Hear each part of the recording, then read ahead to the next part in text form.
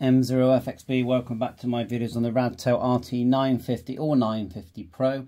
We've got APRS running at the moment. We've also got airband on the A band. Watch this.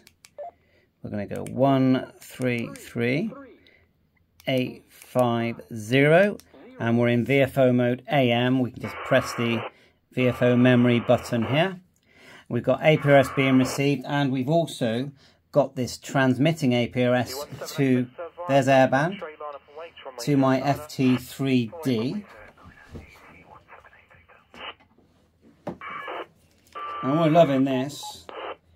Now, the Pro model is available any day, which I've got coming for tests, but and which is great, but and that will transmit on CB, if, you know, because some people do want that.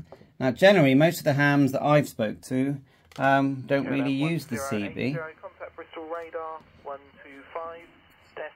So I've set a button to transmit. Okay, let transmit here. If I just press this, it should. Oh, we need a GPS lock for it to transmit, which is such a shame. We've just lost our GPS. See, it's gone red there. It should be white. We could put it into fixed, fixed mode. Um, I'll just show you the GPS transmissions that we've already had. Uh, M0FXB. Just go down and then select and that's the ones we've had already. It's definitely working. I made a separate video. This video is actually about bluetooth programming. So download the app. I'll put the link in the in the description. I'm going to back out and go and just and just show you how to set up the bluetooth app. So once you open the app the buttons are actually along the bottom here. Now if you've got everything in the way you're going to have to just change your android phone so that it works on swipe gestures because i had that in the way and had to change that but otherwise, you go, you tap here to connect Bluetooth. It it finds, of course, make sure your Bluetooth is turned on by swiping down. Android phone at the moment. Tap it, it automatically finds that. Then tap the the middle selection and look, RT, and you want the 950 model, not the Pro. You know, depending on the model you're using. Mine's the the 950. And then just tap the read button here and go read. And it's reading even though we've got APRS running and you heard airband there.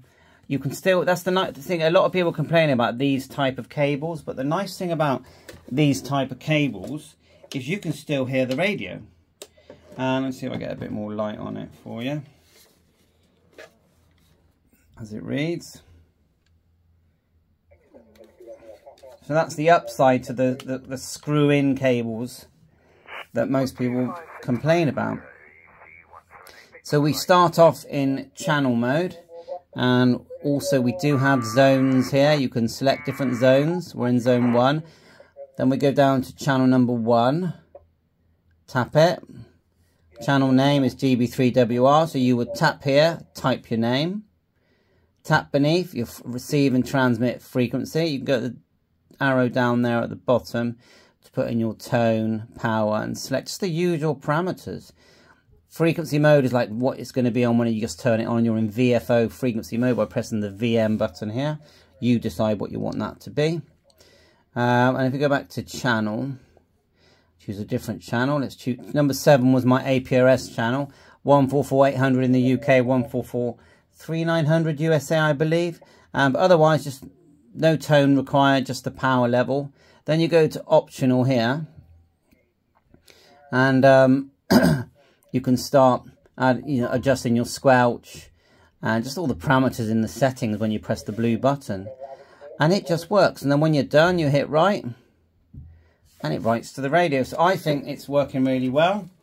Uh, looking forward to the testing the Pro model. If you've got this model, you know, don't think to yourself, oh, I've got the this model. Just think to yourself, um, am I going to use C CB? Now, I do feel like the upper sideband, lower sideband is something that many of us hams would want. So um, that's that's probably the biggest bugbear, if that's the way you want to put it, um, because they put the radio out there very quickly. Get that finish. Oh no, boot up pick, which I made a video installing. Um, it's a fantastic radio, but we we didn't realise straight away that it didn't have upper sideband, lower sideband. So I've put all the links in that you need. I've made videos it does have um, a spectrum scope. I'm pretty sure I got that on zero here. And you can bring the squelch down just by pressing down there. See all the signals coming in? So I'm squelching it with the down arrow. And you can hear what it finds, you can hear. Uh, like that. You can make another adjustment by pressing the OK, adjust the step. As you're seeing, the hash, adjust the span,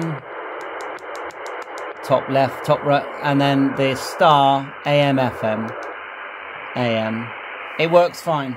And, and yes, it's receiving and transmitting APRS. We are getting APRS. I am using an external antenna. You've got to remember that uh, if you really want to pick everything up, you need to get outside or put an external antenna with an SMA adapter. These are a few pounds on Amazon. Completely happy with this radio. Um, so thanks for watching my YouTube channel. This one's really about Bluetooth 7.3.